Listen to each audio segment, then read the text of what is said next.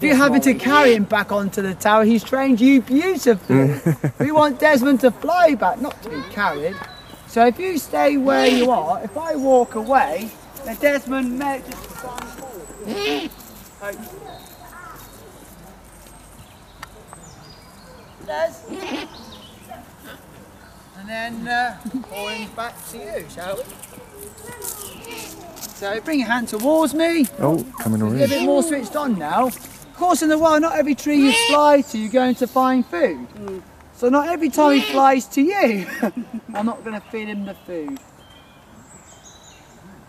You see those tufty bits on his head, they're not horns or ears, they're just extra feathers to camouflage away better in the trees, the woods and the forest. And for the size of him, he's got quite big feet. Um, Lily round the corner weighs five pound. Desmond weighs two pound.